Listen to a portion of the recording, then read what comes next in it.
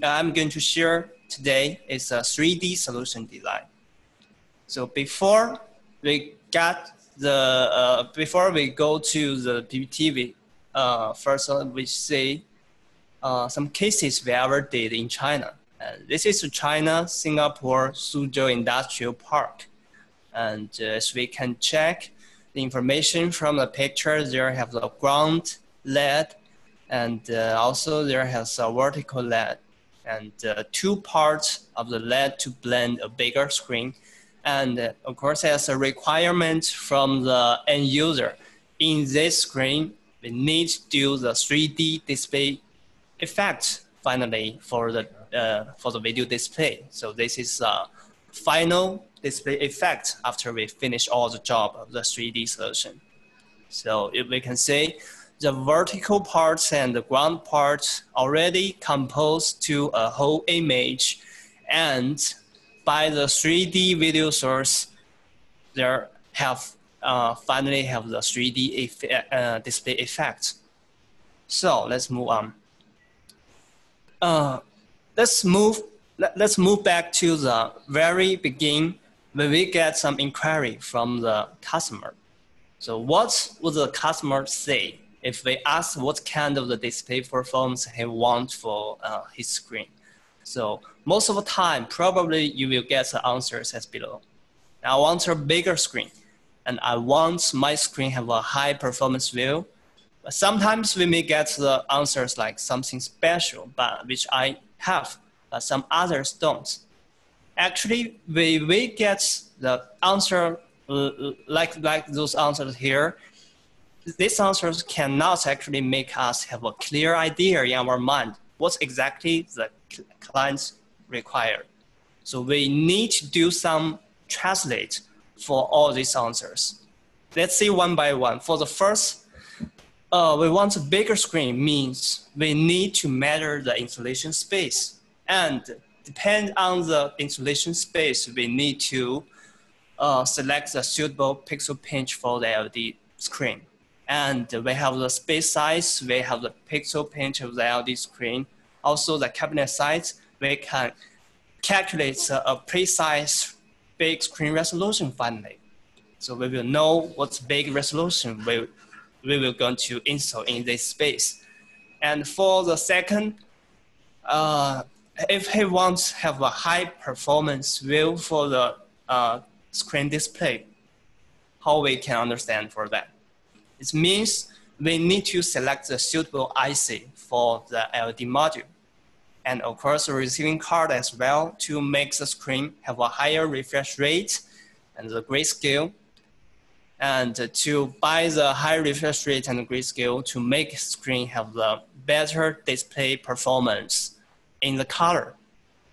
So let's move to the last part. Something special, which I have, but others don't have. This actually is the most difficult part. So how can we make it? Uh, how can we make it special? How can we make it different with a normal screen in the market?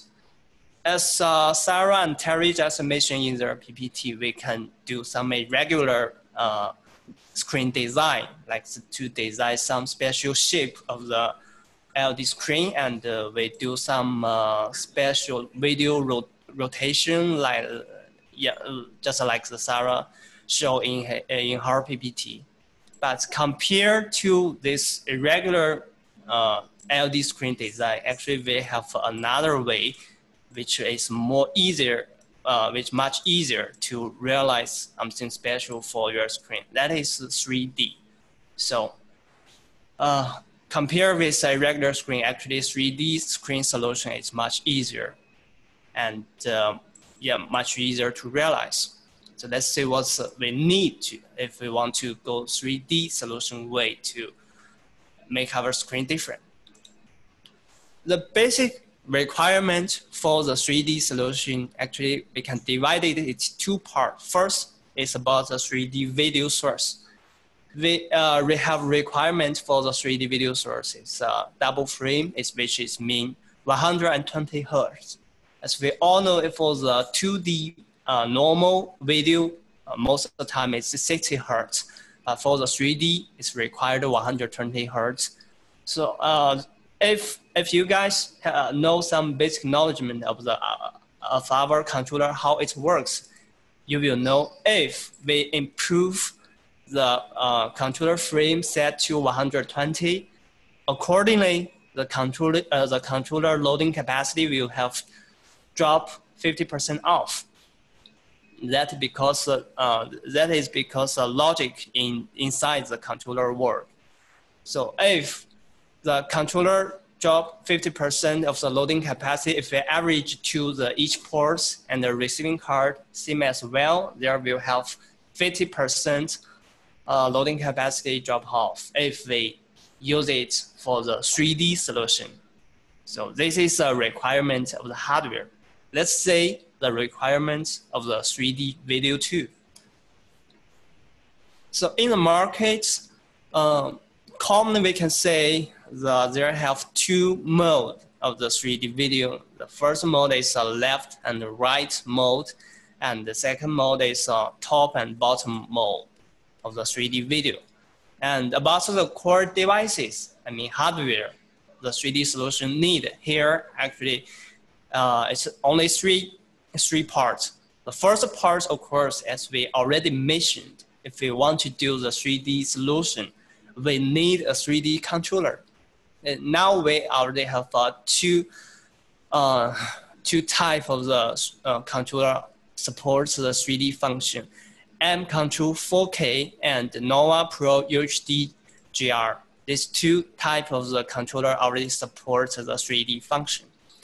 And besides the controller, of course, here we need a 3D emitter uh, to pass the 3D signal from the controller to the 3D glasses.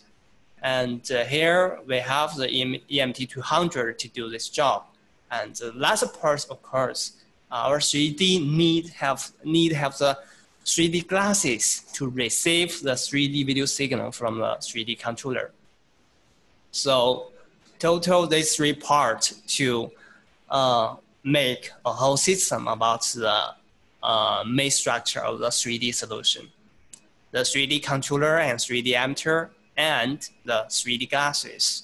So let's say this is a simple 3D solution uh, structure.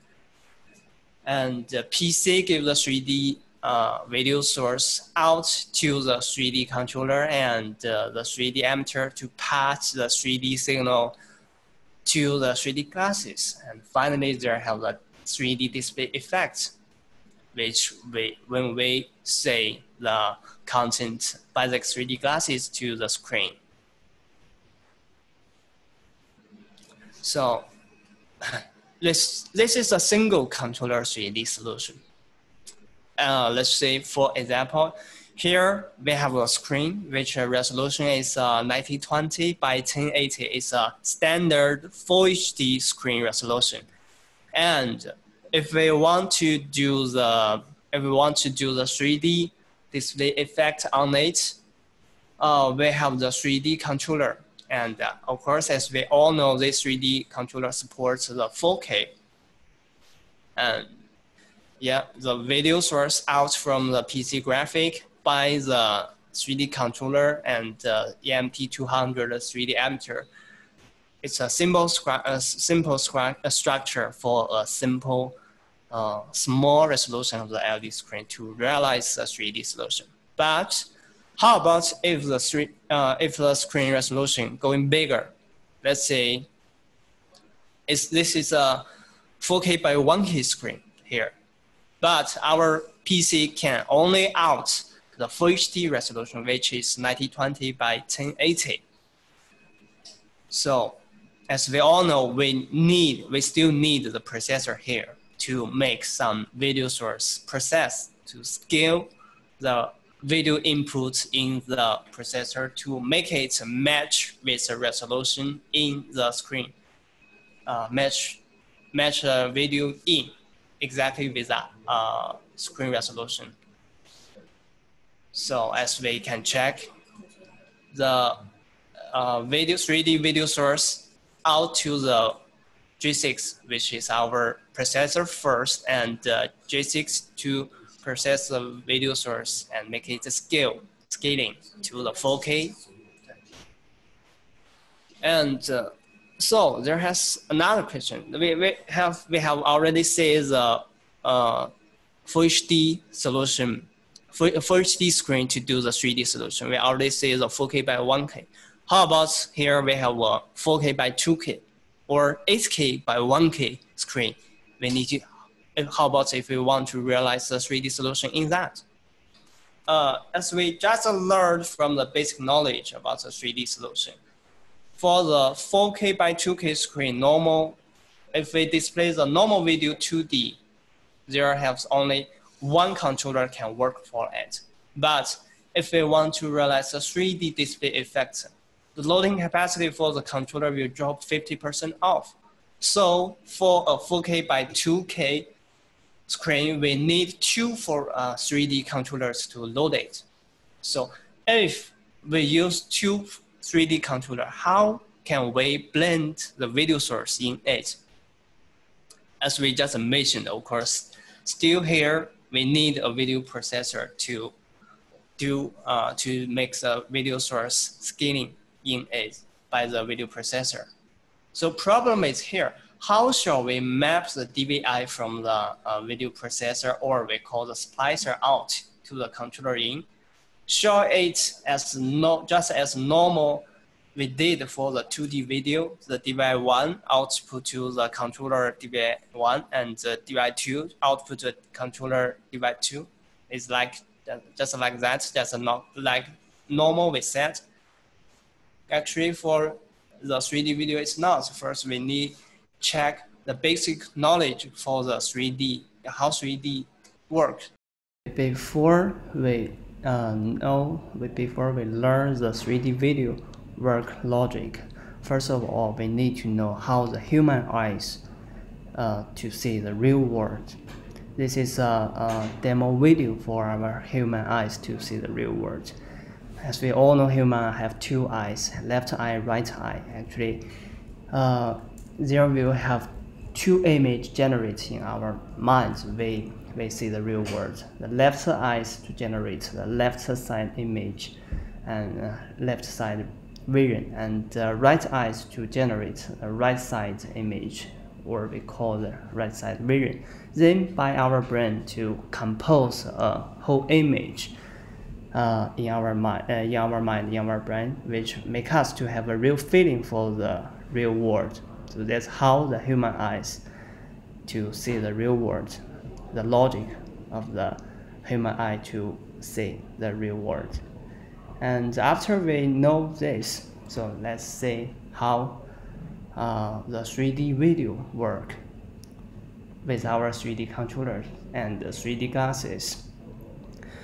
Uh, the actually the 3D technology logic is quite similar as uh, as our eyes to see the world. As we can see, we need to uh, record our 3D video source 120 hertz.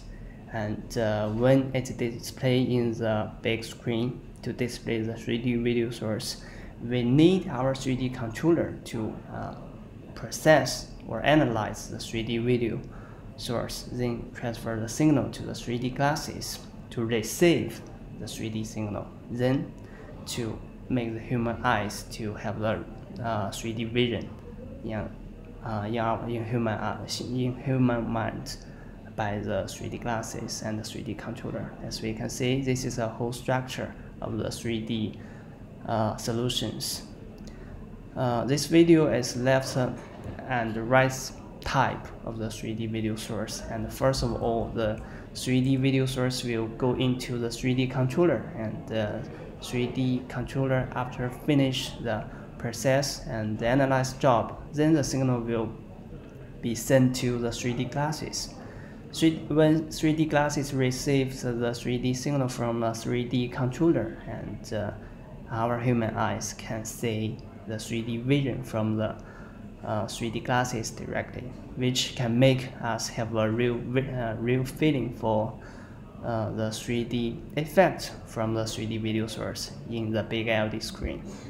So, as we can see the work logic here, uh, actually there will be displayed two uh, kind of the image or video in the LD display, the left side and the right side. And the left side and the right side will be changed quickly.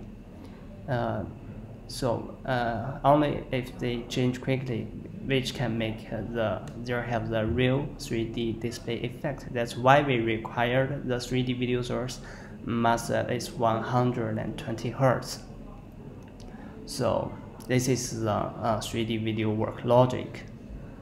Okay, as we learned from the video, 3D, uh, how 3D works actually is uh, the 3D glasses will compose a le uh, left eye vision and at the same time with the right eye vision compose the two frame picture by the controller and the signal will receive by the glasses. And finally, the uh, vision will be composed in our mind. So there have the 3D display effect We, we finally see the video from the screen by the 3D glasses.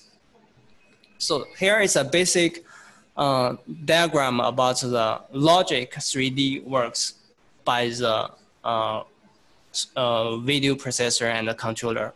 We can say the left and the right parts video will be uh, divided four parts by the video processor, and the left part is left one, left two, right part is right one, right two, and uh, finally will be output by the DVI uh, separately. If we use the uh, 3D uh, video source divided, we can see here, it will be divided by four parts, and the left controller will be just display the left part, and the second controller will be just display the right part. And finally, by the controller and the 3D glasses, it will be composed a, a whole image, uh, 3D image in our mind, 3D uh, vision image in our mind. So this is the DVI mapping for the left and the right mode 3D video uh, it's following, it's just a follow the logic here we just showed, left and right part. And uh, this is a DVI mapping for the top and bottom 3D video.